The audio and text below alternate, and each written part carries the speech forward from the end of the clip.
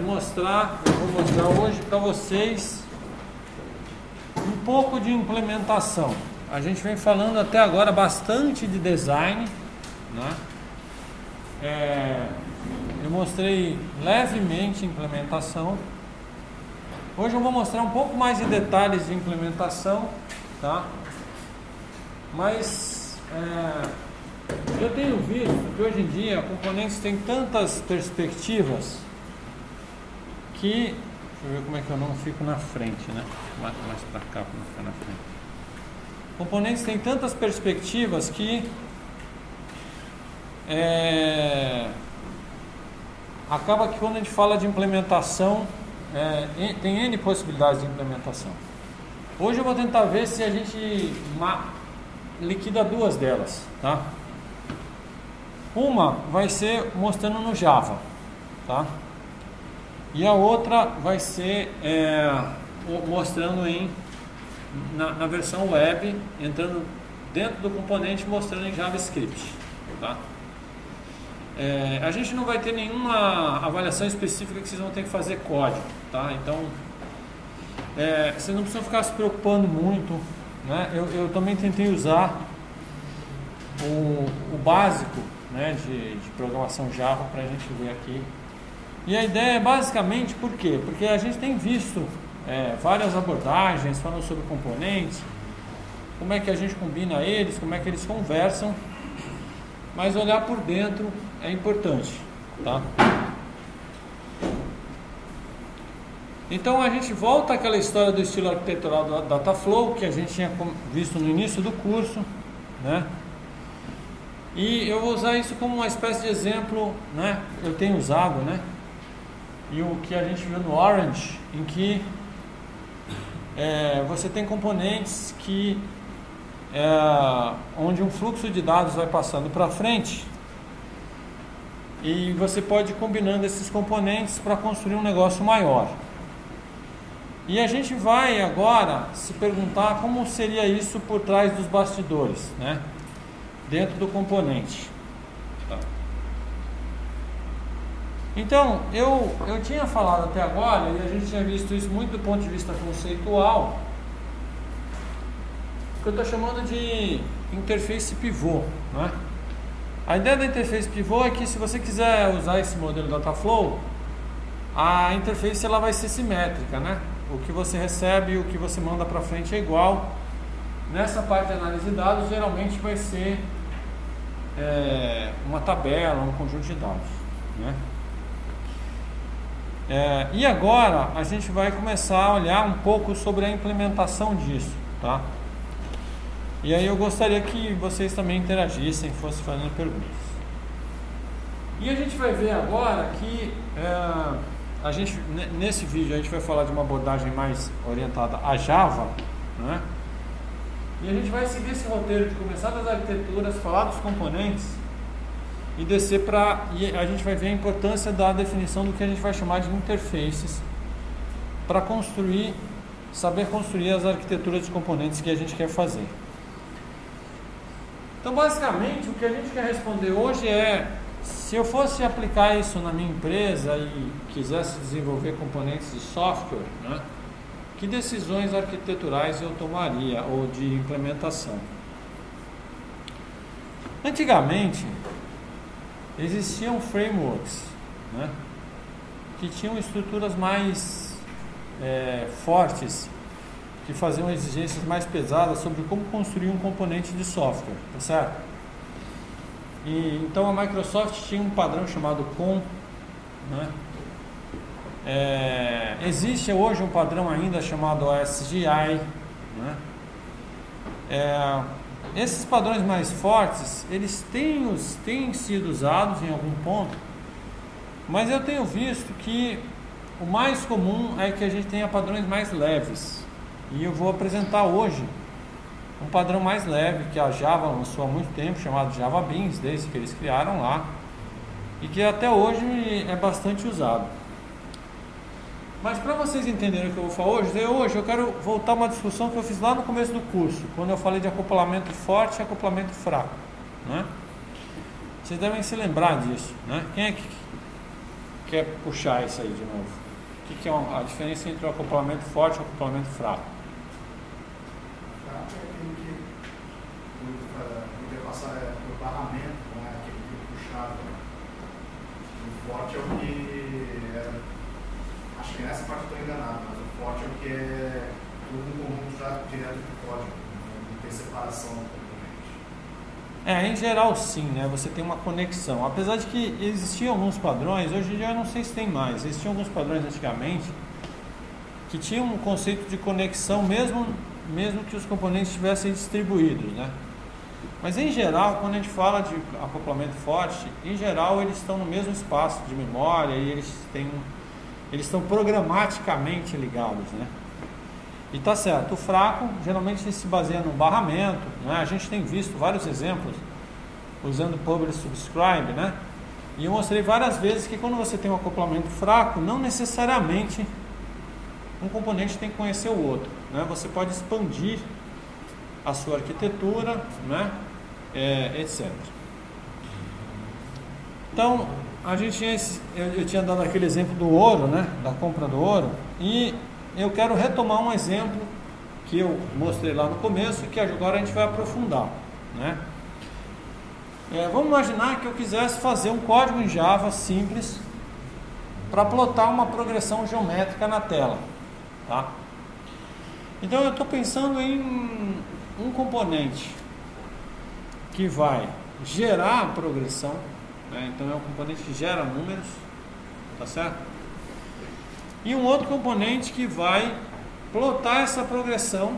Né? Em princípio, a gente vai fazer isso na forma de caractere, mas depois eu vou mostrar que, pela nossa arquitetura, a gente vai conseguir trocar, tirar um componente, botar o outro e transformar essa saída numa saída gráfica.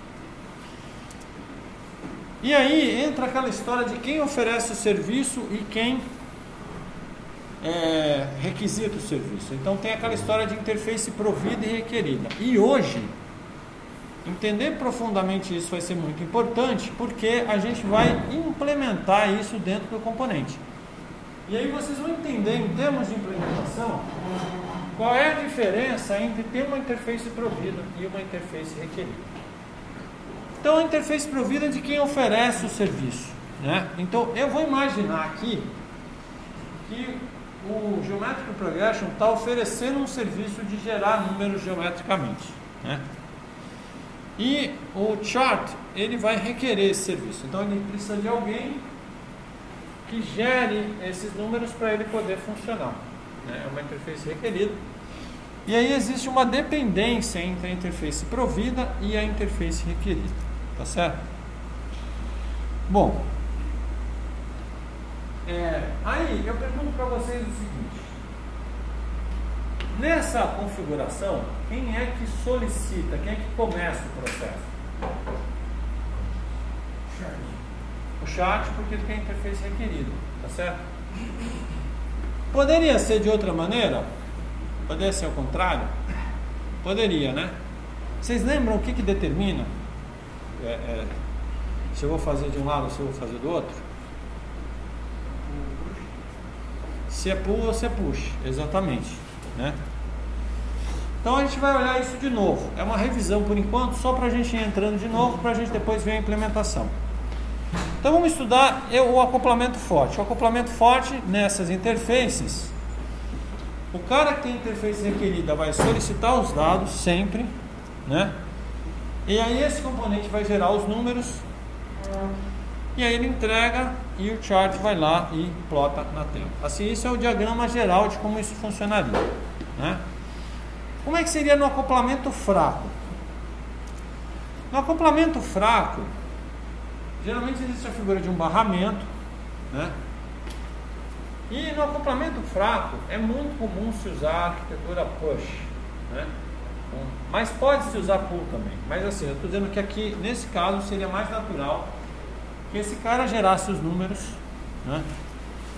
colocasse esses números no barramento. Tá? Aí tem aquele esquema de assinatura que a gente já viu várias vezes, não vou entrar aqui de novo. Ele assina, recebe os dados e plota o gráfico. Esse é o esquema de acoplamento fraco. Aqui em Java, a gente vai estudar a versão acoplamento forte. Eu vou deixar para falar de acoplamento fraco quando a gente estudar os componentes web, tá? Então a gente vai pegar esse cara do acoplamento forte agora e vai dar uma estrinchada por dentro, tá? É, então, quando vocês implementam componentes, vocês podem ter duas abordagens. Eu vou manter essa porta meio fechada por causa do tá, gente? Esse ar não está dando conta do meu Não para mim, né? não sei você. É que eu. Hã? Não porta.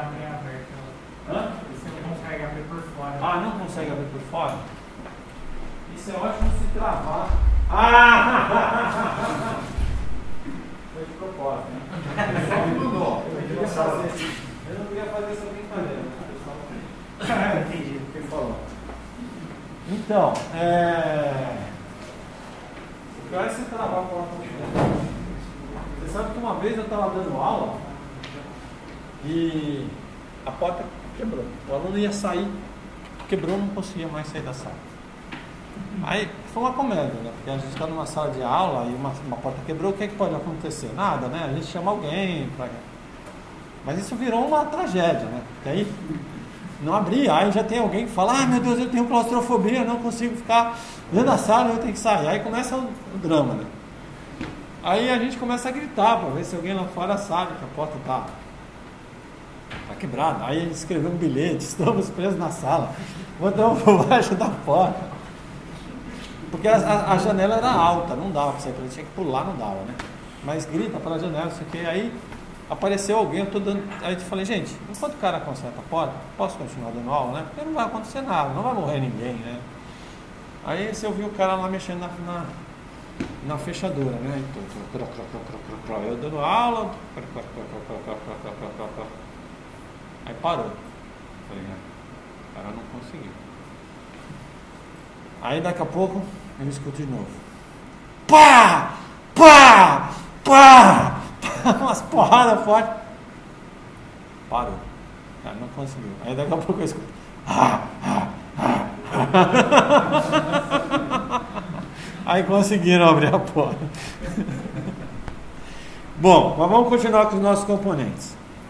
Então, quando você vai implementar um componente, é, existe infraestruturas que a gente chama de lightweight, que é o que a gente vai estudar aqui, porque hoje em dia é o que tem sido mais usado, tá certo?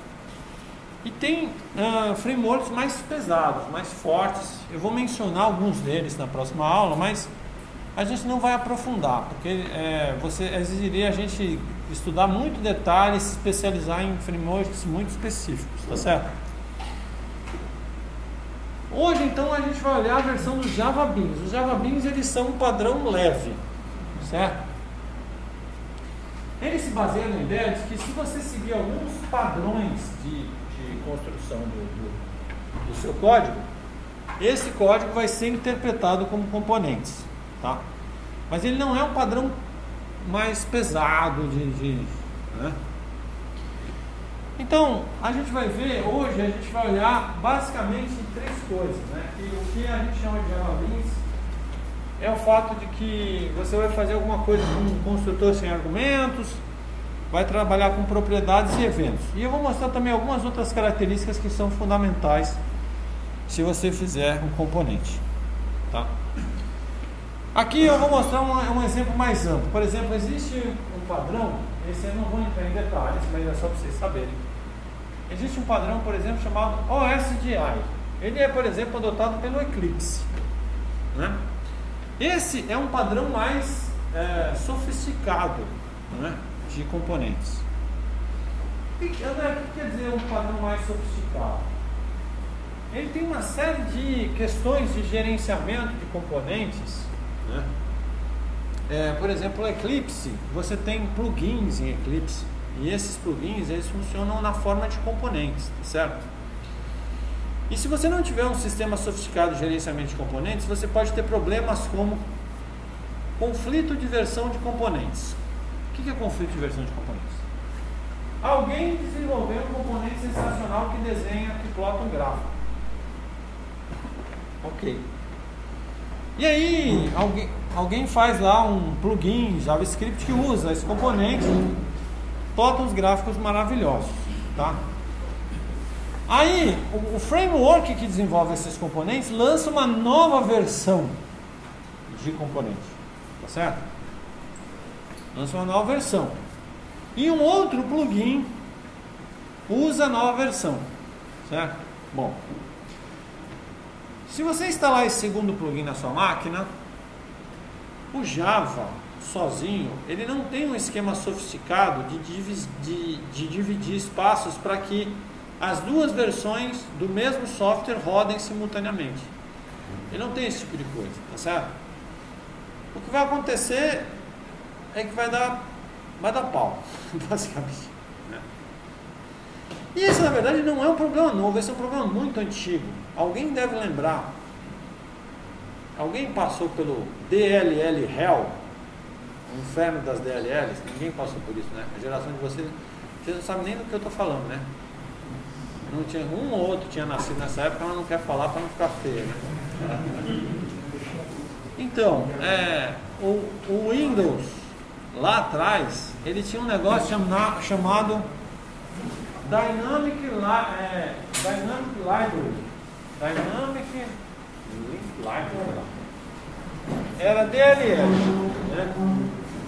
Essa DLL era um sistema do Windows para fazer reuso de código. Não era bem de componentes, era de bibliotecas, de funções e tal, e você usava código. E aí ele tinha esse, exatamente esse problema que eu estou falando aqui. Né? Eu me lembro uma vez que eu fui instalar uma impressora, aí o software da impressora era mais antigo do que a versão do Windows que eu estava. Aí o software da impressora falou assim: Ah, olha, eu vou sobrescrever tal DLL. Aí eu falei: Ah, tá bom, sobrescreve aí, né? Preciso rodar a impressora. Sobrescreveu. Só que ele era mais antigo do que a DLL que estava sendo. E o Windows, para o kernel dele, usava aquela DLL. Você vê como o negócio era. Né? Resultado: a máquina não botava mais. E pronto. Tive que reformatar a máquina por causa disso. Não botava mais. Ou reinstalar o Windows, né? Formatava meio pesado, né? Tive que reinstalar o Windows na máquina. Ela não botava mais. E aí, para evitar esse tipo de coisa, tem a própria Microsoft desenvolveu um padrão chamado COM, que era um padrão de biblioteca de componentes muito forte, que tem sistema de versionamento e várias outras questões. Né? E o OSGI é alguma coisa nessa direção para Java.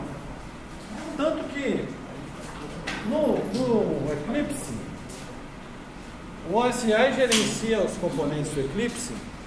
Você está vendo que tem aqui registro de serviços, ciclo de vida e tal. E ele permite até que versões diferentes de bibliotecas convivam no espaço dele. Ele faz todo esse gerenciamento para você, tá? É, mas é, uma coisa que eu tenho observado é que por mais que esses padrões mais pesados eles tenham vários benefícios, sejam muito legais, eles não têm sido amplamente adotados, tá certo? Na prática, o que tem feito muito sucesso são os padrões mais leves. E é por isso que eu escolhi eles para mostrar para vocês. Então, o que é o Java Bean? O Java Bean é. Aí está uma definição, né? É... Mas o Java Bean ele é um padrão de codificação desenvolvido pela na época, né? pela Sun, né? É, e que depois foi comprada pela Oracle, né?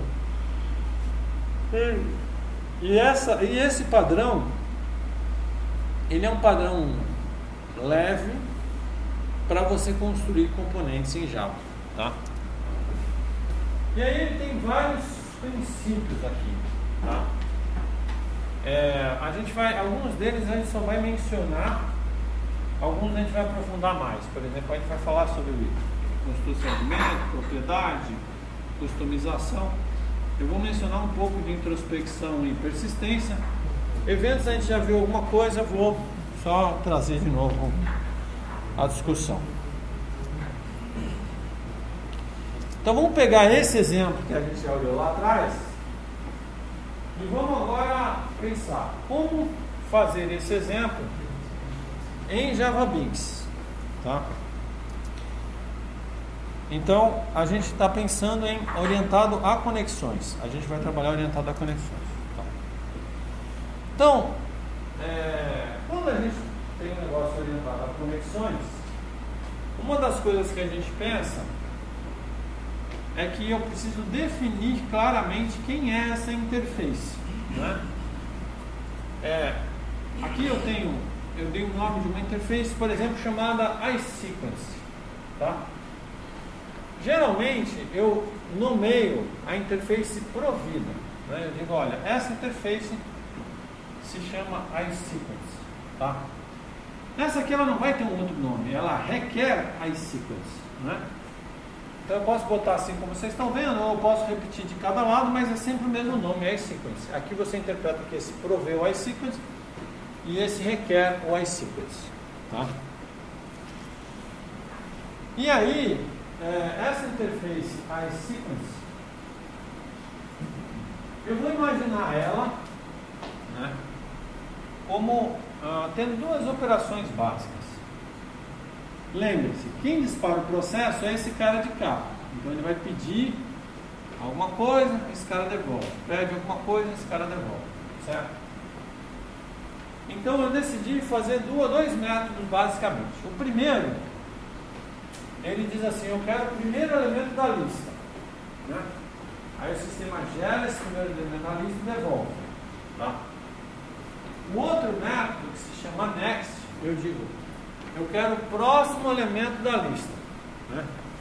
Aí ele gera o próximo elemento da lista e devolve. Então, basicamente, eu imagino que se alguém quer a sequência de uma progressão geométrica, ele começa com o first, recebe o primeiro elemento, Aí ele fala next, recebe o próximo, next, recebe o próximo e assim por diante. Tá. Além disso, eu estou dando as características do, de como vai funcionar esse componente. Né? Eu vou imaginar que eu quero ter propriedades externas que permitam customizar o componente. Então isso eu já tinha mais ou menos mostrado para vocês. A ideia básica é que você imagina que você precisa customizar esse componente, né? E que você não quer abrir ele como está aqui para mexer no código, para, né? Você quer externamente customizar. Então a gente faz isso através de propriedades, né? Eu vou definir propriedades externas e eu permito que o cara customize essas propriedades externas para configurar o componente, tá? É, é, eu costumo, isso é um padrão que eu adoto, mas que é bastante útil quando a gente fala de componentes. Eu costumo construir uma interface específica para gerenciar as minhas propriedades. Tá? Vocês já viram o método get7 quando vocês estudaram Java? Viram? Então, basicamente, né, eu vou, entrar, eu vou retomar isso, mas as propriedades elas vão ser acessadas através de métodos. Um, o get é o que recupera valor e o set é o que altera o valor. Eu costumo ter uma interface só para lidar com essas propriedades. E aí eu posso customizar essas propriedades externamente. Né?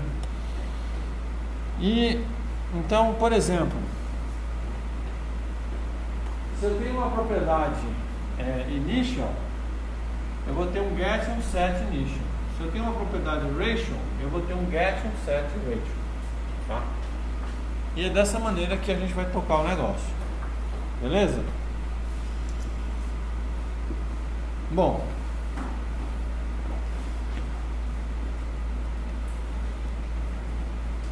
É, isso aqui eu vou mostrar daqui a pouco que é, é mais internamente. Vou pular por enquanto.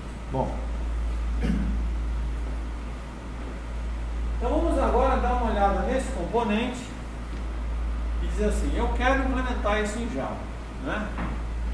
na minha representação, esse aqui é o meu componente, eu tenho duas propriedades e eu tenho uma interface provida, tá certo? E eu mostrei para vocês que o acesso às minhas propriedades, ela vai operar também como uma interface, né? Tá, e aí tem do lado de cá a requerida e a dependência, né? E o bot chart vai ter uma interface requerida. Agora, eu estou indo bem devagarinho, porque essa parte, eu já, eu, já, eu já lecionei essa parte várias vezes e eu vejo que às vezes algumas pessoas têm uma certa dificuldade, né? E às vezes trocam a requerida pela provida. Então vamos dar um zoom nessa comunicação que é orientada à conexão, né? Tá, então o que eu falei é que esse componente aqui da esquerda, que tem interface provida, ela, ele fornece operações, né? E quem tem a requerida chama e recebe a resposta. Nesse caso, eu estou imaginando que esse cara vai ter o first e vai ter o next. Tá? Componente que vai desenhar o gráfico, que é o que está lá, ele vai pedir o primeiro número. Tá? Esse cara gera o primeiro número e devolve para o componente que desenha o gráfico. E aí o componente que desenha o gráfico plota lá. Aí ele vai pedir o next. O cara gera o próximo número, devolve, ele plota. E assim por diante. Tá? Tá. Então, aí entra a discussão que eu falei para vocês de pull e push. Né? Essa abordagem que a gente viu aí é uma abordagem tipicamente pull. A abordagem pull, quem precisa do serviço requisita, o A requisita, o B executa, né? E envia a resposta para o A. Em geral, o A fica esperando, inclusive, né? É o comum. É por isso que a gente diz que esse tipo de operação geralmente ela é bloqueante, né? Você, você solicita alguma coisa, você fica ali esperando. Ela é síncrona também, a gente usa síncrona, né? E aí depois volta e você usa o resultado. Mas seria possível uma abordagem push. E na abordagem push, a gente consegue imaginar uma abordagem push. Quem tomaria a iniciativa seria o componente que gera os números. Né? Ele gera os números, coloca lá na conexão para o outro fazer alguma coisa com esses números. Isso também é possível, né? Então, esse é pull, né? O chart solicita e o outro e o outro devolve. O push, ele teria que ser pensado da seguinte maneira: o de cá, então eu inverti. Você está vendo que eu inverti? Eu botei a requerida lá de cá e a provida aqui. Por quê? Porque esse cara agora é quem inicia a operação. Não é? Então, basicamente, ele inicia chamando essa interface plot, né? que vai plotar. Então, a gente diz que isso é push, por quê? Ele não espera ninguém pedir nada para ele. Ele mesmo vai empurrando os dados para o outro componente. Aí ele envia os dados para cá. Chama o plot. Então, ele gera o 2, chama o plot, né? Aqui, ele gera o 2, chama o plot, o plot 2. Gera o 4, chama o plot, plot 4. E assim por diante. Tá? Então a gente tinha visto a diferença dos dois, né? Eu não vou entrar em detalhes aqui, aqui é uma revisão, né? Cada um tem vantagens e desvantagens, depende da abordagem que você quer usar. Então vamos ver a abordagem pull. Tá, a gente vai implementar agora, vai começar a implementar esse componente que a gente tem aqui estudado extensivamente por fora. Vamos ver agora ele por dentro. Vamos ver a radiografia desse componente, como é que ele funciona por dentro. Então, eu vou mostrar para vocês a forma típica que o Java usa para fazer esse tipo de implementação, tá certo? Não necessariamente é a única forma, tem várias maneiras eu vou mostrar uma forma. E a forma típica, que é a mais simples, é que o seu componente ele é implementado por uma única classe. Tá? André, eu posso ter componentes com várias classes? Pode. Eu vou mencionar isso aqui. Né? Um componente só pode agrupar várias classes, tá certo? Mas a forma mais simples, e aqui é padrão do Java, um componente é implementado, é definido por uma classe. Então você imagina que existe esse componente geométrico progression, então vai ter uma classe geométrico progression que implementa ele, tá certo? Essa classe geométrico progression vai ter ali um conjunto de propriedades, né? E quais são as propriedades? São aquelas que a gente tinha visto, né? É, a gente tinha visto que tem uma, uma, vai ter um conjunto de atributos, né? Que vão virar propriedades. Dois deles vai ser qual é o valor inicial da progressão e qual é a razão de crescimento da progressão. Então esses dois, initial ratio, eles são atributos da classe que vão se tornar externos é, na forma de propriedades. Né? Depois tem mais um atributo aqui chamado current, que eu vou usar para guardar o valor corrente, mas eu não vou é, eu não vou externalizar ele através de propriedade. Você não é obrigado a tornar externo todos os atributos que você tem na forma de propriedade. Só aqueles que você tem interesse em é, customizar. Não é? Tudo bem? Tá. Então, passo 1. Um. Uma classe que implementa um componente. Então, na perspectiva orientada a objeto, tá? É,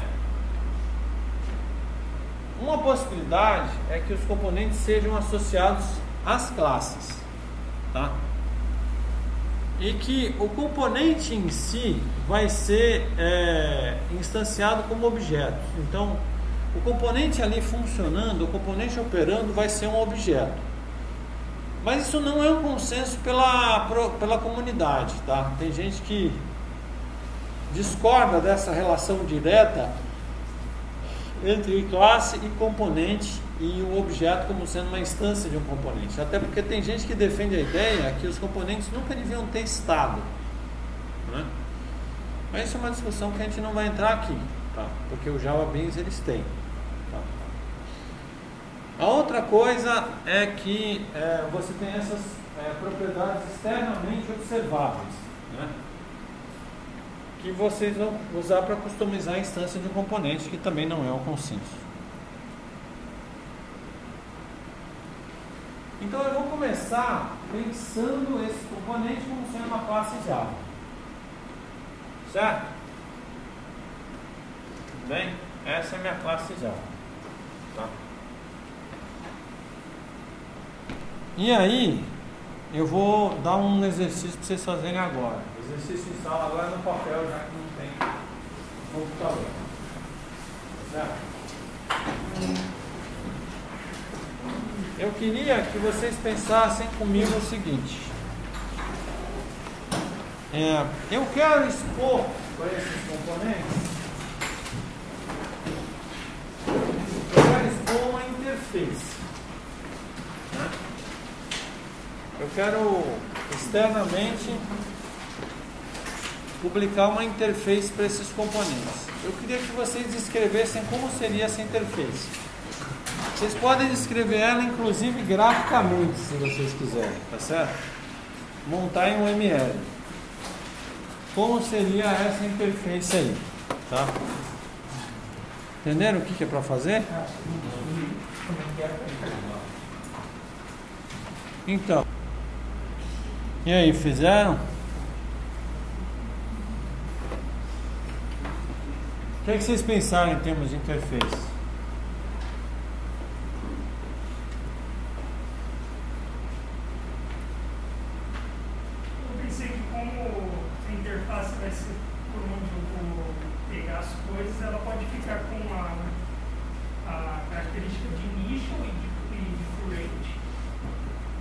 ele pode pegar dela isso e pegar os métodos first e next dela também. Tá, initial current, você está falando o quê? Através. Atributo. Não, atributo não vai para a interface. A interface só tem método. Só o first next. First next? É, eu coloquei também o 7 também. 7 initial e 7 rating para poder passar como parâmetro. Você teve gente que colocou os, os sets também? E set get. Set get? Faz sentido. Bom, então tem gente que pensou numa interface que pegou tudo isso aqui, né? Pegou praticamente todos os métodos, exceto o construtor, porque o construtor não vai para a interface, né? E teve gente que pegou uma interface mínima do first e do next, né? É, o que, que você acha que é a diferença de, de cada uma dessas duas decisões? São duas decisões possíveis, mas o que, que impacta em cada uma delas? Aquela que só tem first e o next não tem como configurar os atributos internos. Tá, aqui tem first next eu não consigo configurar os atributos internos. Isso é verdade, certo? Por outro lado, se eu já colocar tudo numa interface só, qual é a desvantagem? Organização. Organização? Quem fala organização? O que você está chamando de organização? Se você mistura tudo numa interface, para você fica muito acoplado nessa. Né, Fica tudo naquela, naquela interface, você tem que transitar aquilo sempre. Você junta, você é obrigado a usar as coisas junto, né? Então isso é uma coisa importante quando você fala de interface, tá certo? Como assim, André? Eu sou obrigado a usar as coisas junto. né? Imagine que eu resolvesse que eu ia vender uma ideia brilhante. Vou vender uma panela de pressão que é acoplada a um liquidificador. Aquelas panelas de pressão elétrica, sabe? Toda vez que você liga a panela de pressão, o liquidificador liga junto. André, por que, você fez os dois juntos? Não, porque o, o cara pode querer usar a panela de pressão e o liquidificador. Mas e se não quiser? Não, se não quiser não dá, porque veio junto.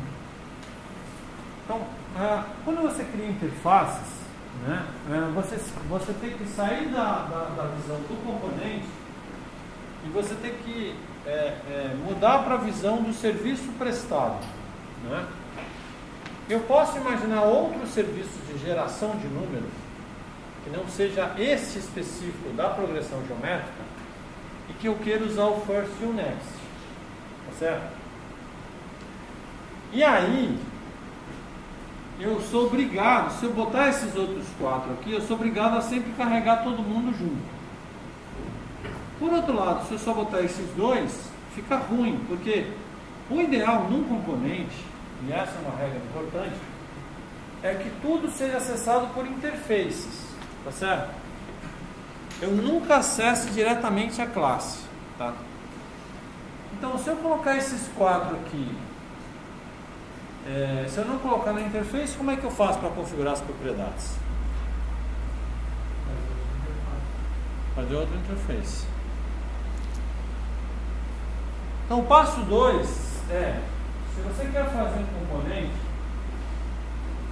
e esse é o ideal, é que todo o acesso seja através da interface. Nunca, e a gente vai ver exatamente um passo além disso aí, nunca você vai ter acesso direto à classe. Tá certo? Por que, que isso é importante? Porque o importante tem aquela ideia, e eu vou mostrar um exemplo aqui, de que se tudo depende de uma interface, você não sabe quem é o cara que você está lidando, você pode tirar um componente, colocar um outro que tem a mesma interface e ele consegue substituir. É aquela ideia do replaceable. Né? Então, se vocês pensarem em Orange, por exemplo, como é que ele consegue combinar coisas diferentes? É justamente por isso. Porque cada componente ali, ele não tem uma visão interna do outro componente, ele não sabe o que tem no outro. Tudo está definido por aquelas interfaces ali. Aí você consegue recombiná-los de formas diferentes, trocar um pelo outro, sem se preocupar, porque tudo é definido através da interface. Então, é, é, é essa a ideia, né? É, que o desejável é que os serviços sejam acessíveis exclusivamente pela interface. É? É, e todo componente tem que publicar uma interface que guia o relacionamento do componente com o ambiente. Tá certo? Se você souber desenhar corretamente as interfaces, você vai ganhar aquela propriedade de ser intercambiável dentro do ambiente. Então a ideia que alguém deu, que eu não lembro quem é, é que a gente pode pensar em duas interfaces. Uma que tem o first e o next, que junta só essa, essa funcionalidade. E uma outra que eu vou deixar reservada só para configurar as propriedades, certo? E eu vou mostrar para vocês que tem um truque em Java que é muito útil nesses casos, certo? Porque eu vou mostrar que se eu só publicar as duas interfaces separadas e, implementar elas no componente, depois o Java não tem um suporte decente para ficar trocando de interface. Ele não é muito bom nisso. Né? Justamente por ele ser um padrão leve. Tem, tinham padrões antigos mais sofisticados, como o POM, que tinha um sistema de troca de interface. Mas o, o Java não tem isso. Né? Então a melhor solução que eu encontro, isso aqui já é uma, uma opção pessoal, é que eu crie uma interface do componente que herda essas duas. Tá? Ela junta as duas. Né? Não, então aqui não, aqui ainda não é isso, desculpa, aqui ainda não é isso. Aqui o componente está implementando as duas interfaces, tá certo? Aqui o componente está implementando as duas interfaces. É, mas, bom, eu vou mostrar, deixa eu ver, deixa eu, já que eu comecei a falar do assunto, deixa eu mostrar aqui o que eu estou falando. Então eu estava falando sobre essa ideia de uma interface grande, face grande versus várias pequenas. Né? Então, se você tiver uma grande interface, é mais simples de implementar e usar. Se você tiver várias interfaces pequenas, você é, aumenta o reuso das interfaces e, e tem mais generalização. Cada vez que você implementa uma interface, você compromete um conjunto mínimo de funcionalidades, tá certo? Então, eu sempre sugiro essa solução mista, que é uma interface grande que unifica as pequenas. O que quer dizer isso? Eu geralmente é, crio uma interface Java que herda dessas duas. O Java permite isso. Ela vai virar uma interface que junta as duas, tá certo? E eu digo que o componente implementa essa interface. André, com que raios você fez isso? É, eu vou mostrar para vocês que o grande poder da interface é fazer com que você não olhe a implementação, certo? Bom, o problema das interfaces pequenas é que na hora que você instancia o componente, eu instancia, eu pedi para instanciar, depois tem o conceito de fábrica, uma fábrica instanciada, né? Quando eu tenho interface pequena, eu tenho que dizer para o Java se eu vou olhar por essa interface ou por essa. E aí depois se eu precisar usar alguma funcionalidade que esteja na outra interface, eu tenho que fazer um negócio bem ruim de troca de interface. Tá? Então a ideia é que eu posso dizer para ele, eu quero usar essa que já junta as duas. Então ao mesmo tempo eu ganho a vantagem de ter as interfaces pequenas, porque sempre que eu precisar usar as interfaces pequenas, ele vai continuar reconhecendo, e ao mesmo tempo eu tenho uma simplificação da implementação. Tá. Bom, é isso que eu faço. Depois do almoço é difícil, né? De... Depois do almoço fica é pouco, né? Principalmente se o cara resolveu comer muito. Mas é isso, a vida é injusta mesmo. É isso. Eu ainda, esse piso aqui é excelente para bola de bilhar. Eu tenho uma técnica que funciona muito bem depois do almoço, que é a técnica da bola de bilhar. Vocês já derrubaram uma bola de bilhar num piso de madeira desse, dessa altura? Já? Não? Puta, mas faz um barulho, mas faz um barulho. Aí eu me lembro uma vez que eu estava na sala de aula que eu fiz isso. Soltei, cara, tinha um cara dormindo, o cara achou que o prédio estava pegando fogo. Não faz muito barulho, não. Uma das coisas que faz mais barulho, pessoal. Experimenta um dia para vocês verem. Eu queria ter uma bola de bilhar aqui, que vocês vão ver se alguém ia dormir. Bom, então, eu, até agora a gente está falando de Java, classe, interface. Eu quero transformar isso agora num componente. Tá? E a gente vai seguir alguns passos aqui, né? Então, basicamente, é, o que, que a gente está querendo fazer? Né? A gente quer, e, e, e essa é a, a, a, nossa meta, né? É que a gente quer que tenha alta coesão e baixo acoplamento. O que, que é isso? Todo meu código ele vai ficar junto ali no canto, né? E vai ter o mínimo de definição de conexão, que é a minha interface, com quem precisa do outro lado. Isso vai evitar essa, essa, essa, essa mistureba aqui, né? que é geralmente um dos grandes causadores de problemas. Então isso é o que a gente chama de alta coesão, ou seja, internamente o código tem, é, está muito coeso, muito conectado, e baixo acoplamento, ou seja, com quem está fora eu vou ter o mínimo de conexão possível. Então você pensa que um componente ele vai ser o seguinte. Eu tô, a gente está vendo um componente de uma classe só, mas ele poderia ser de múltiplas classes, tá certo? E é, se você fica sempre na granularidade da classe, você acaba tendo esse trânsito de conexões de classe que você acaba se perdendo no seu código.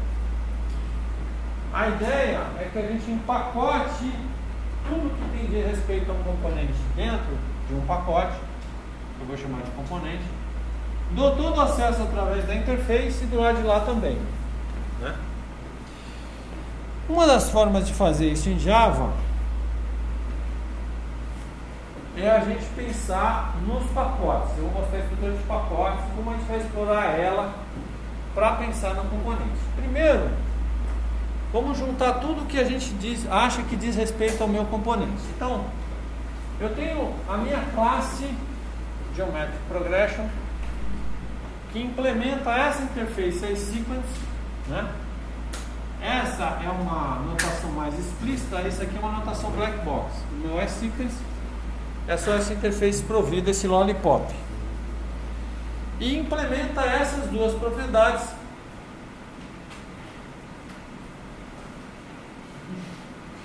Eu não mexi em nada. Hã? É assim mesmo, ele assim a manhã toda. É assim? Ele enjoa e dá uma desligada. E segue, vida que segue, vida que segue. Bom, aí tem essas duas propriedades. É só para quem está dormindo, tá? Estamos sonhos sim. Bom, aí eu tenho duas propriedades, initial e ratio, e é essa interface. Então essa é a forma mais explícita, essa é a forma mais compacta. Isso aqui eu já falei. É... O que, que acontece, André? Aí vocês podem perguntar. Se ao invés de uma classe só, eu tivesse 10 classes que implementassem o meu componente, tá? e eu quisesse empacotar isso tudo num único componente. Existe um pattern chamado facade, não sei se ouviram falar, mas a ideia é que você pode fazer o negócio tão complicado quanto você quiser. Contanto que depois você unifique numa única interface que vai te dar acesso a tudo que está lá dentro. Tá? E essa interface unificadora, não importa a complexidade interna do seu serviço, é o que a gente chama de facade. A ideia do facade é que você pode ter, se você quiser, um componente super complexo internamente, mas você vai ter uma interface única que vai dar acesso aos serviços. Então, quem está vendo de fora, está vendo desse jeito aqui, ó. Isso aqui é um facade, né? Que você pode ter uma complexidade interna, ele fica isso numa interface só que vai conversar com essa interface que vai ter a sua complexidade interna. Então, se você entendeu bem, esse é um outro nível de controle de complexidade, porque agora você começa a pensar nos blocos maiores que você vai configurar e mexer, tá? E aí, isso casa com a ideia de você montar componentes em pacotes. Né? Vocês viram pacotes em Java? Viram? Então a ideia do pacote é que você vai é, você vai ter uma estrutura de pastas, né? Então deixa eu mostrar isso na prática.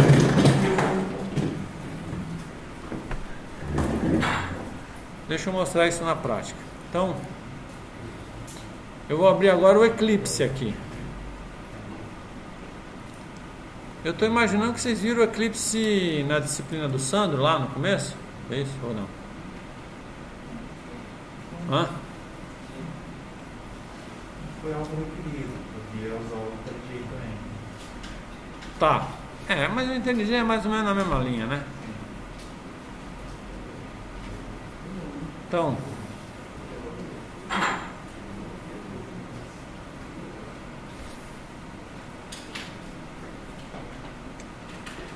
É, existe um projeto que, se vocês quiserem, vocês podem abrir depois, não agora, né? Agora vocês estão no papel. Mas aqui no, no Component to Learn, deixa eu abrir aqui.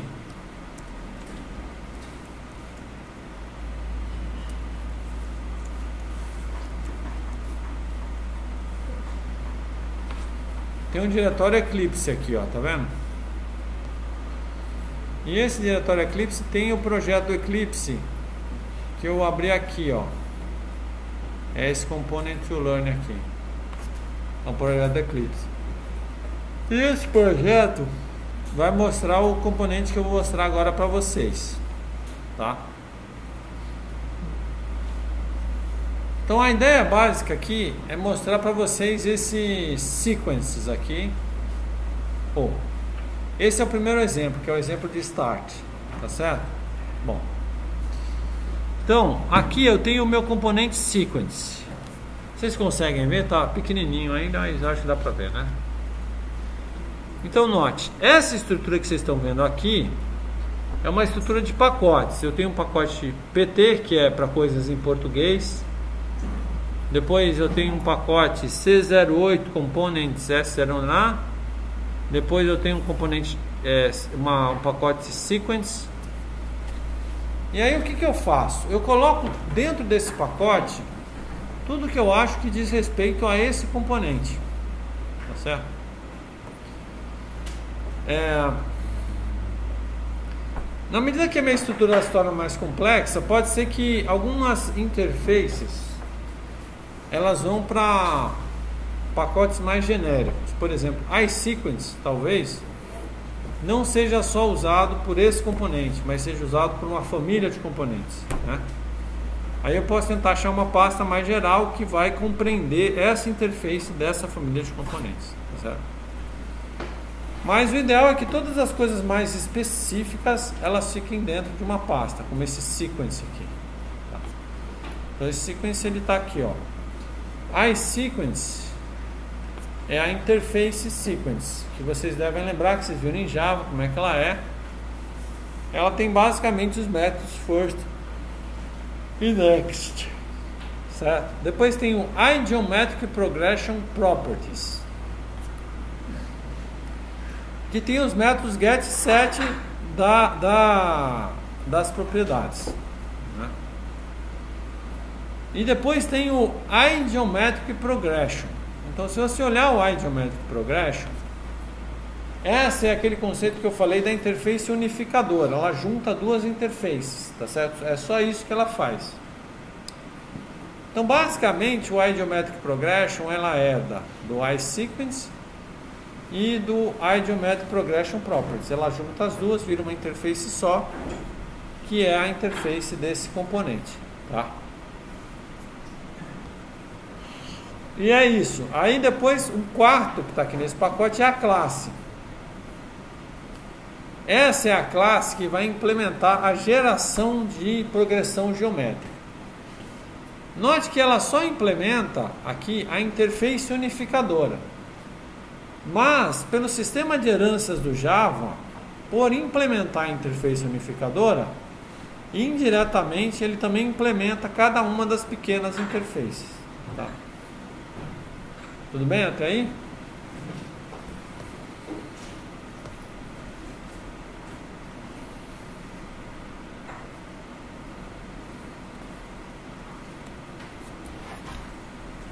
Tá. É... Então vamos lá. É, tem, tem literatura que fala o que, que é, é, um componente de software, né? E tem algumas questões, né? Por exemplo,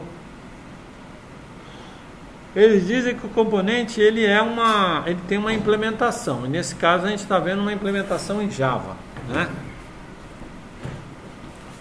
Ele segue um padrão. E nesse caso o nosso padrão a gente está usando um padrão leve que é o do Java Beans. Né? Depois a ideia é que o componente ele possa ser empacotado, né? Você possa ter ele dentro de pacote. E é por isso que eu estou mostrando para vocês guidelines de como você vai criar pacotes para ter seus componentes, porque depois você pode usar isso para fazer deploy, etc. Você pode fazer deploy, né, com esses componentes, pode fazer distribuição e ele tem uma especificação, tá? Bom, qual é o próximo passo para você criar o teu componente em Java, né? Ele tem que ter um construtor sem argumentos. O que é um construtor sem argumentos? É, todo mundo conhece o esquema de construtor, né? Você vai dar um new construtor. E vocês devem saber que o Java permite que você tenha construtores com ou sem argumentos, né? Quem é que pode me dizer qual é a vantagem de eu ter pelo menos um construtor sem argumentos?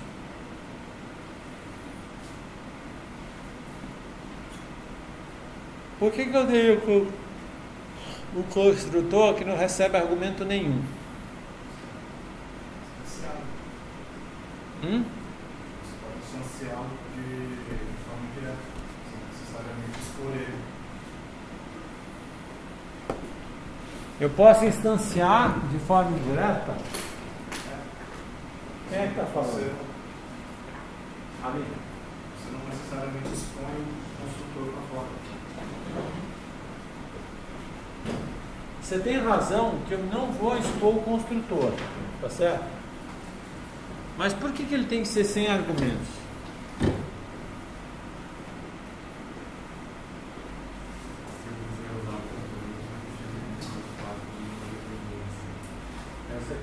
Está todo mundo que eu não sei o que eu estou falando. Você não. É porque. Como é que é o negócio? Se eu precisar usar esse componente, eu vou precisar me preocupar é, se eu precisar criar ele para usar, eu não preciso saber nada, praticamente, né? Na verdade, a ideia de você ter construtor sem argumento é a raiz para você fazer fábricas. Né? Porque a ideia da fábrica é que eu posso fabricar esse componente sem saber nada sobre ele. Né? E depois quem vai usar, customiza ele e, e, e pluga. Né? Então é por isso que é comum tem um construtor sem argumentos.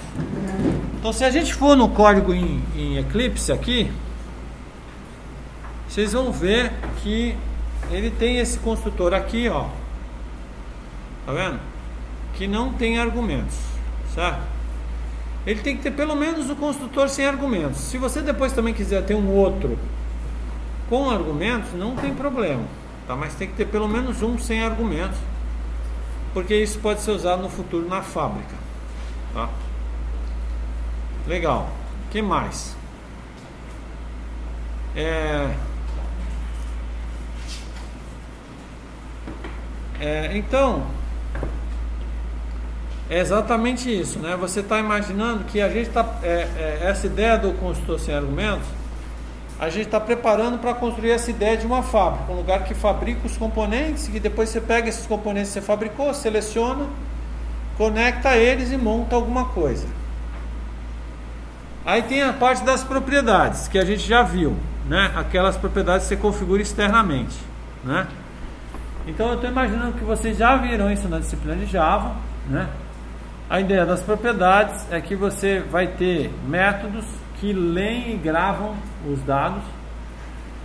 E para leitura você tem o prefixo get e para gravação você tem o prefixo set da propriedade. E se a propriedade for só de leitura, você não tem o set, você só tem o get.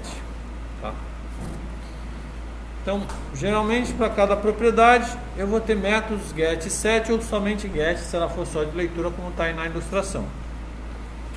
No nosso caso, a gente tem o initial e o ratio, né?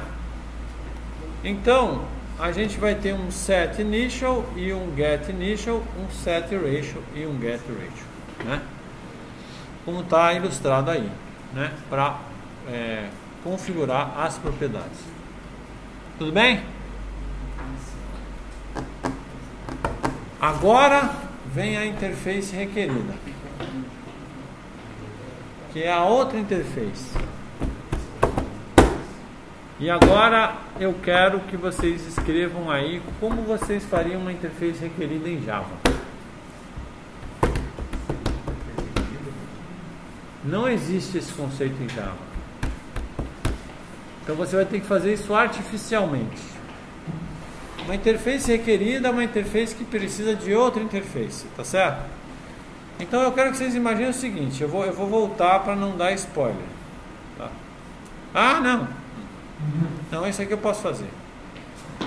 É, então, você tem a interface iSequence, lembra que tem o first e o next, tudo bem? E agora eu vou implementar o componente da direita, eu vou implementar o bar chart. Tá? Mas o bar chart ele tem uma interface requerida, ele precisa da interface iSequence.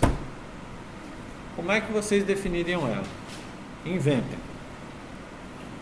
Dá uma pausa aqui. O de maracujá também. É...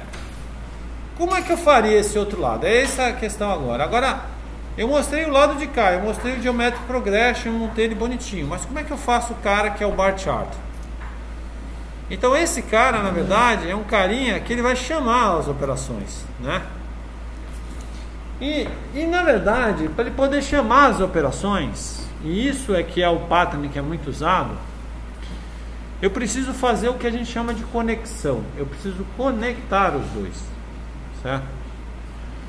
Então, no fundo, no fundo, o único papel de quem tem a interface requerida, presta atenção, é manter a conexão para quando ele precisar ele chamar, porque é ele que chama. O outro não precisa ter a conexão porque ele não chama, ele vai ser chamado. Então ele não precisa se preocupar com nada. Mas o outro, o cara que tem a interface requerida, é o cara que precisa saber onde está o outro então a gente diz que ele mantém a conexão, porque daí, toda vez que ele precisar, ele chama. Tá claro? Então a interface requerida, ela não é uma interface que vai dar operações nem nada. Ela só vai ter um papel, que é estabelecer a conexão. É só isso que ela vai fazer. E mais nada. E é por isso é, que essa interface, ela vai ter um método que o nome usual é Connect. Podia ser qualquer um, mas Connect é mais comum porque dá a ideia de que você está conectando, tá certo? E nesse Connect, você vai dizer para o componente quem é o endereço ou ponteiro do outro. Lembra que a gente está falando de conexão forte, não é mensagem. Eu vou chamar o cara, né? Então, se eu vou chamar o cara, eu preciso saber o endereço dele, do, do, do objeto, para poder chamar, tá certo? Então o connect é a operação que vai entregar para o cara que precisa chamar o endereço do outro. Mas note, o connect ele é interpretado como uma preparação. Você não é obrigado na hora que você fez o connect a fazer nada, certo? Você não é obrigado a fazer nada, porque você pode guardar um endereço do outro e quando você precisar dele, você chama, tá? Então, a ideia básica é que o componente B, que tem a interface requerida, vai ter o método connect e vai guardar o endereço do componente A para ele chamar quando precisar. E isso está escrito errado, porque isso é uma figura antiga, mas que não é, é a sequence, é a sequence, né? Não, tá certo, não está escrito errado. Eu que estou ficando maluco. Então, conecte com quem? Essa é a pergunta. Com quem eu quero me conectar? Eu quero me conectar com alguém, que eu não sei quem é, que tenha interface iSequence. Ponto. Tá. Então, para mim, não é importante é, saber os detalhes do método, cara. Eu só preciso dizer assim, olha, eu tenho, eu, eu tenho uma interface que eu preciso de alguém que tem uma interface sequence, não importa quem seja. Note que aí a importância de eu separar e deixar só a interface sequence separada, porque o componente B só precisa do first e do next, ele não precisa do resto, né? Então, e a, a, a, jogada vai ser assim: quando eu der o connect, o componente B vai guardar para ele o ponteiro do A. E quando ele precisar, ele chama. Todo mundo acompanhou essa ideia? Fala. Então eu não preciso criar uma nova interface que eu vou puxar no B. Eu vou criar o connect direto no B e ele vai gerar essa conexão com a sequence que está, que é a interface do componente A. Então, na verdade, não existe um pattern no, no padrão Java, tá? Essa parte da interface requerida, ela não é especificada, tá? Isso é especificado num outro padrão chamado Corba, que também é da, OMG, da OMG, que, que fez a UML, mas que não está no ML padrão, tá certo? Então, eu, assim, se você for olhar a documentação de Java, você não vai achar forma de fazer isso. Mas a forma que é sugerida é que exista uma interface. Por quê? Porque a gente não quer conhecer o componente por dentro. Tudo tem que ser feito pela interface. Só que essa interface vai ter o connect. É uma interface que só tem um connect. É só isso que ela tem. Ela é assim, tá? E o componente B puxa ela. É, aí o componente B implementa ela, você tá vendo? Isso. O que, que o componente B tem? Aí, a forma como você vai chamar essa interface, você que sabe. Eu botei IR de Required Sequence tá? Então é a interface requerida do sequence. Eu, vocês estão vendo que eu estou botando sempre um i maiúsculo para, não é obrigatório. Isso não é padrão obrigatório no Java, mas eu gosto de usar, né? Botar um i. Então iSequence é a interface, IRSequence é a interface requerida. Aí note que essa interface requerida, ela sempre só tem um método, que é connect com a interface, alguém que tem a interface provida, só isso. Então, no caso do, do pattern do facade, eu tenho, eu tenho isso daí no meu componente, ele pode puxar N componentes que possuem o iSequence. Isso não tem a ver com o facade. Não, mas por caso. O que eu estou dizendo é, é, é, é, usando isso, eu posso me conectar com qualquer componente que tenha o iSequence. Agora, o que, que o facade me dá de vantagem? é que se eu tenho um componente que tem várias outras classes lá dentro, né, eu posso juntar todas elas numa única interface iSequence. Né? E aí quando eu conectar, eu estou conectando com toda essa galera aqui através dessa interface iSequence. Eu só estou vendo a interface. Você entendeu? Todo mundo entendeu esse pattern do connect aí? Então, eu vou começar agora a explorar com vocês a implementação do bar chart, que é o componente que faz o gráfico, certo? Então o que, que eu vou fazer? Uma das coisas que eu vou fazer é que eu vou definir uma, uma variável que vai guardar o endereço do cara que eu vou me conectar. E essa variável é do tipo iSequence. Note que eu não sei que classe é o outro componente. Isso é muito importante ele é qualquer objeto que implementa a interface iSequence. Tá.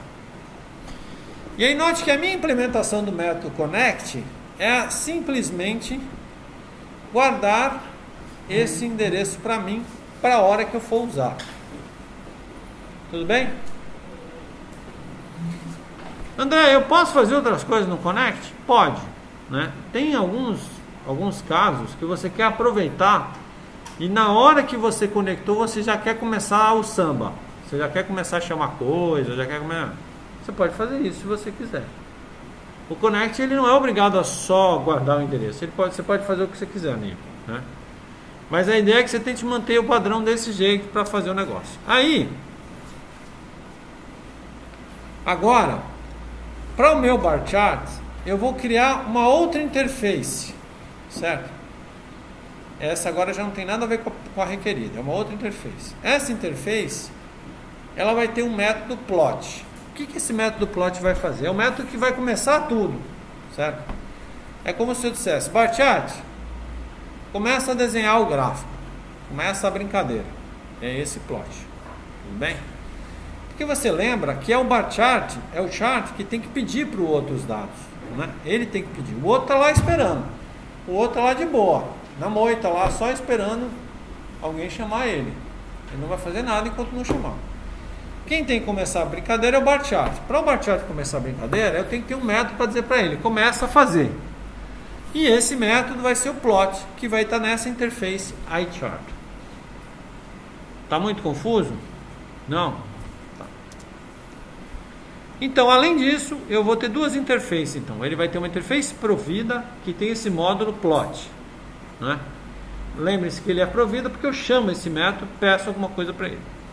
E ele tem a interface requerida que tem é a interface requerida de sequence, que eu represento desse jeito que vocês estão vendo aí.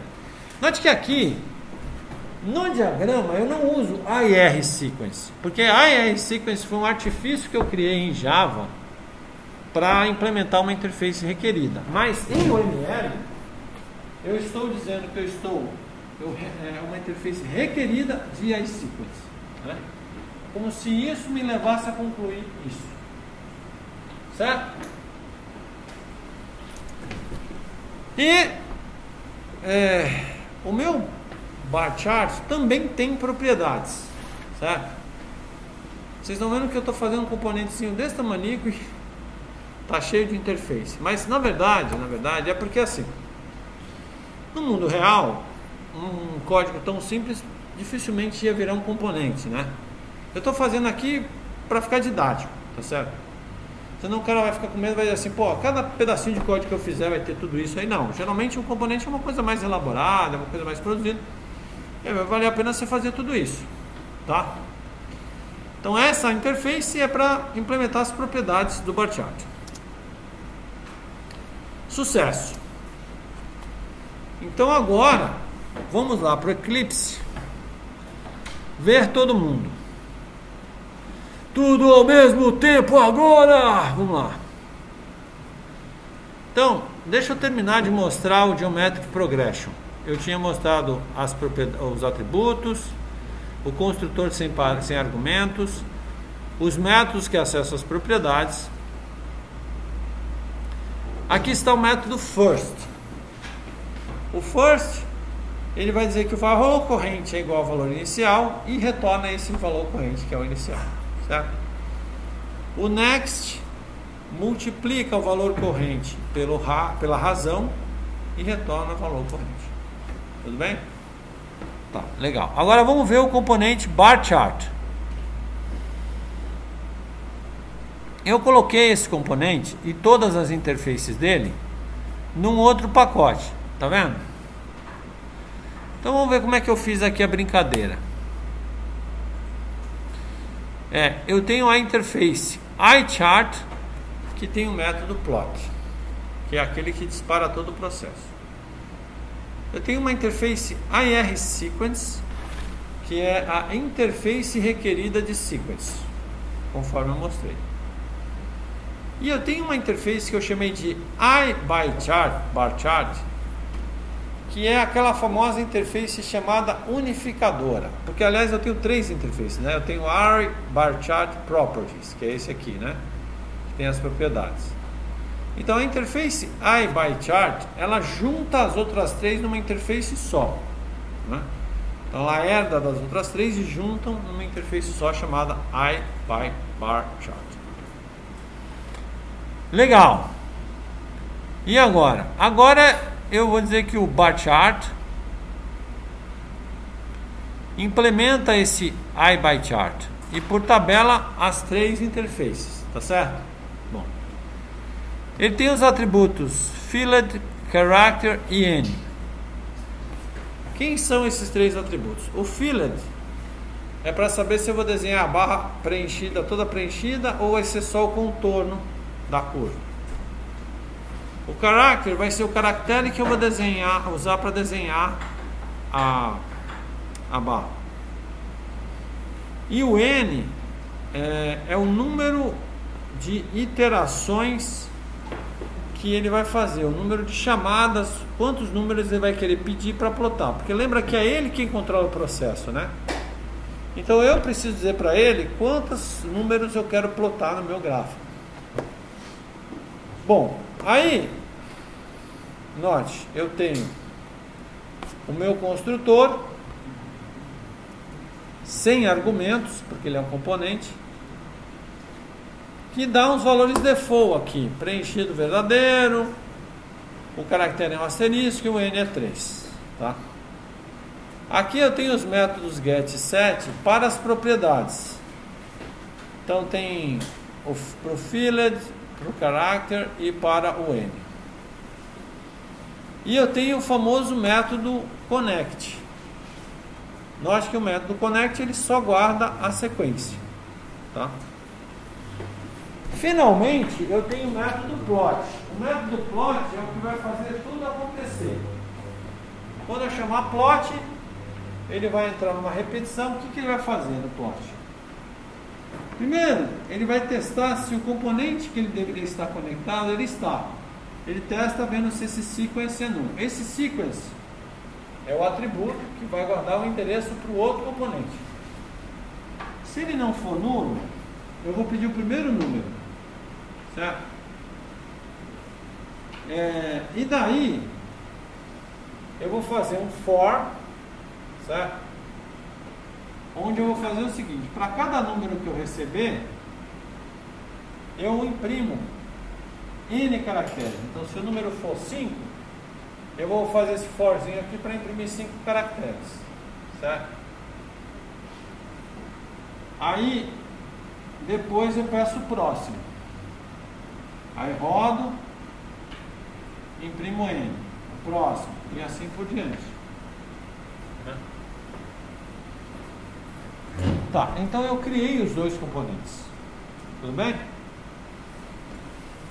Agora um terceiro exercício para vocês.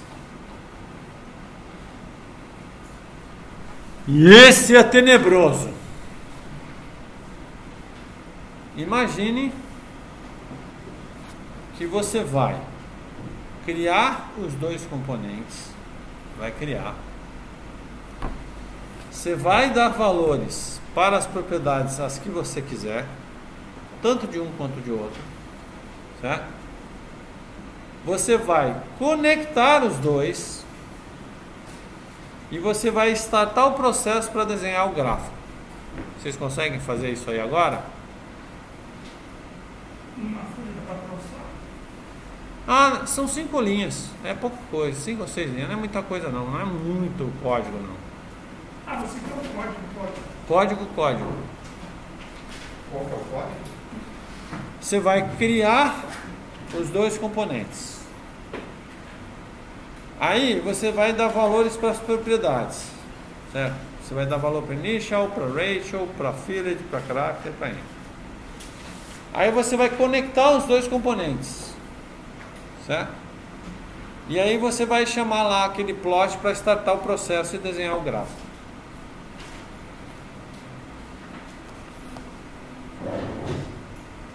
Bom, vamos lá, vamos ver como foi que vocês fizeram. Como foi que vocês fizeram? Qual foi a primeira coisa que vocês fizeram?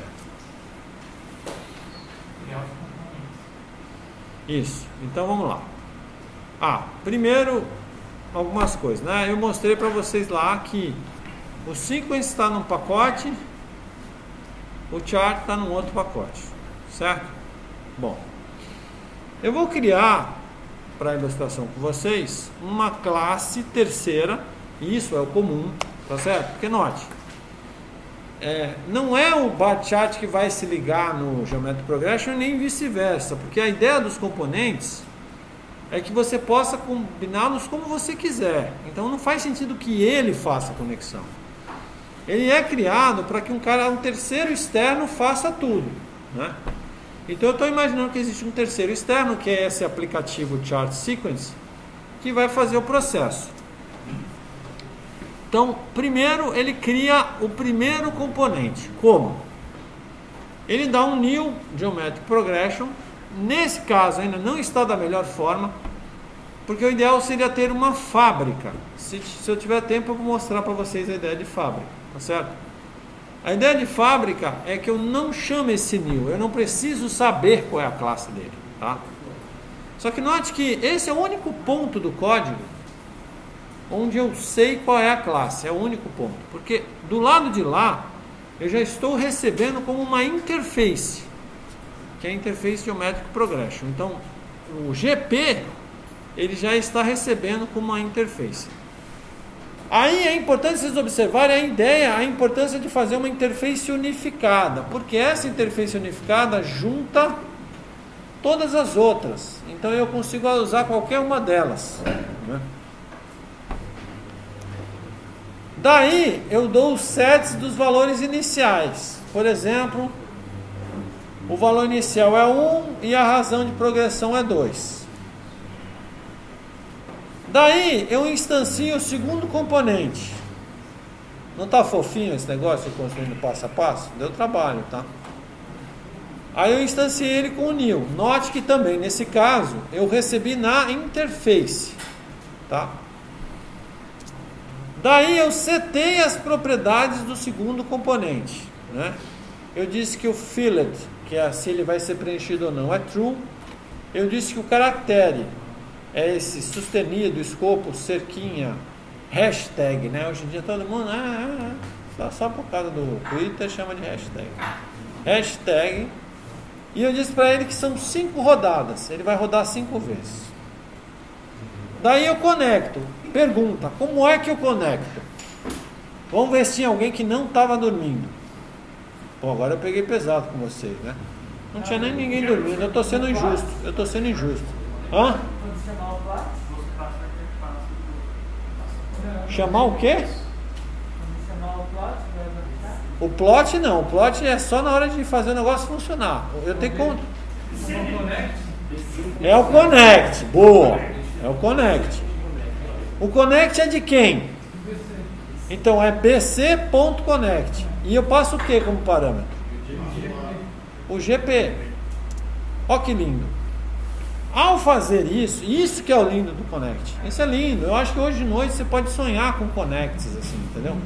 Vai ser aquela noite que vai ter lá as nuvens, né? Os anjos e os Connects lá acontecendo. Connect é um negócio lindo. Na hora que eu dei esse Connect, o chart passou a conhecer o Geometric Progression. Mas tudo isso sem eu precisar me meter no código interno deles. É tudo feito externamente, são grandes blocos que eu estou conectando. Certo? Aí agora sim eu posso dar o plot. Porque na hora que eu der o plot agora, o bar chart vai saber quem ele tem que chamar para ir plotando o negócio. Tá? Então a brincadeira vai ser assim, ó. Eu dei o plot, o que, que vai acontecer? O bar chart sabe onde está o geometric progression porque ele guardou o endereço na hora que eu dei o connect, lembra? Aí ele vai ali, olha, chamar o first e o next desse sequence. Essa variável sequence é a variável que guardou o endereço do outro componente, tá certo? Então ele chama o outro e diz: "Me dá o primeiro". Aí o outro vai lá e devolve o primeiro. Aí ele plota lá, tá vendo? Me dá o próximo. Aí devolve o próximo. Ele plota lá. E assim vai, me dá o próximo e ele plota. Não é lindo isso? Ficou lindo, eu acho que ficou lindo. Então a gente viu um, um componente de uma, uma, uma classe simples e a gente viu em Java, mas os princípios são aplicáveis a diversos contextos, certo?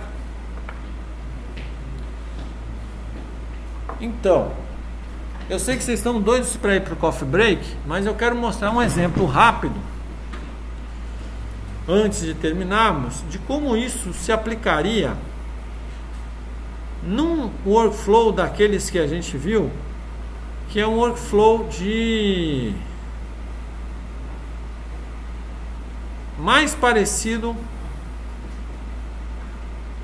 com o entrei errado. Com o orange Tá? Então eu quero mostrar para vocês aqui agora um Imagina que eu tivesse um componente de console que é semelhante a esse chart que eu mostrei para vocês, tá certo? E é, aqui, naquele outro, eu mostrei o iSequence, que eu fui passando número por número. Mas imagina que eu tivesse um componente que fosse Hoje em dia eu me arrependo desse nome iTable Producer, é porque eu tenho isso implementado já em Java e ia dar trabalho de mudar. Mas eu chamaria de iTable, que é uma interface que seria uma troca de tabelas. Porque vocês se lembram no Orange que ele faz troca. Ah, aliás, não é isso que eu quero mostrar agora não. Não, não é isso que eu quero mostrar agora. Desculpa.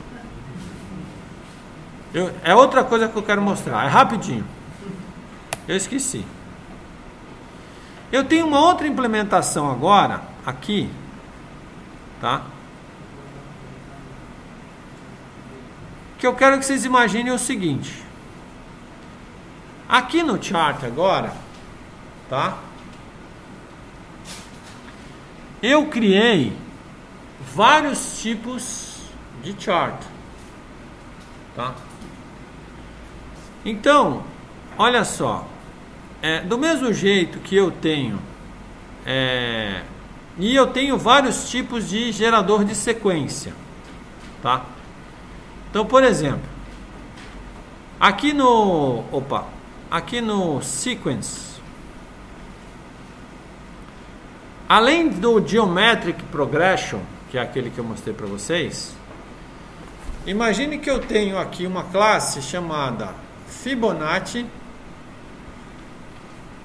que ele gera uma sequência de Fibonacci, certo? Só que ele também tem a mesma interface lá, first next, tá? O que vai mudar é são as propriedades dele, que o Fibonacci só precisa definir quem é o inicial, tá?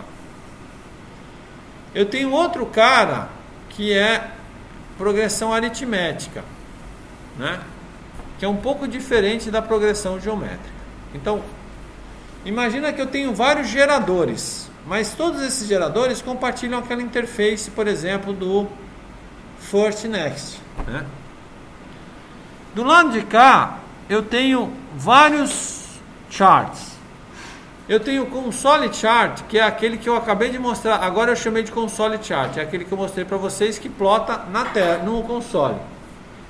E eu tenho outro chamado Graphic Bar Chart, que ele é, desenha um, um, um, ele usa um toolkit gráfico e ele desenha um gráfico na tela. Então, olha só agora como fica a minha aplicação. Eu posso chegar aqui e dizer assim, olha, é, eu quero eu quero aqui uma progressão geométrica, daquele jeito que eu falei. E aqui eu vou colocar um console bar chart, que é aquele que a gente viu até agora. Tá certo? Não é console que se chama? Deixa eu ver. É, console bar chart. E eu quero um console bar chart. Ok tá? E aí eu dou connect, eu dou plot. Tá certo? Legal. Aí depois eu digo que eu quero um Fibonacci. Dou um connect no mesmo bar chart. Eu vou criar um console bar chart. Dou connect e dou plot. O que, que vai acontecer? Ele vai mostrar para vocês aqui no console o Geometric e o Fibonacci. E note que para quem está externo, tanto faz se eu tenho um Geometric ou se eu tenho um Fibonacci, né? Eu dou o Connect, conecto e ele vai gerar o gráfico daquela sequência que eu coloquei. Então dá a ideia de que você pode permutar os componentes. Eu posso trocar o gerador e se eu colocar um gerador geométrico, ele faz geométrico. Se eu colocar um gerador Fibonacci, ele faz Fibonacci. Então eu posso trocar o componente que gera. Como tudo é baseado nas interfaces, no first e no next, o cara que faz o bar chart, tanto faz. Por outro lado, eu posso trocar o outro lado. Eu posso trocar o cara que desenha o gráfico. Então, ao invés de fazer console, eu posso fazer o graphic bar chart, tá? Então eu vou trocar o segundo componente, não vai ser mais aquele componente de console, vai ser o gráfico. Note que eu não mexi em mais nada. Nem eu só instanciei um cara diferente, tá? Se eu mandar rodar aqui agora, vão aparecer dois gráficos, né? no formato gráfico. Por quê? Porque eu tenho os mesmos geradores ali, só que agora eu, conecto, eu mudei o componente que eu conecto. Então é aquela ideia de você ter interfaces padronizadas e você consegue tirar um componente e colocar o outro que vai funcionar no lugar dele. Certo? Todo mundo entendeu? O cara só está pensando no coffee break a essa altura do campeonato, né? Ninguém quer saber de bar chat mais. Podem ir, vai. Daqui a pouco a gente volta, gente.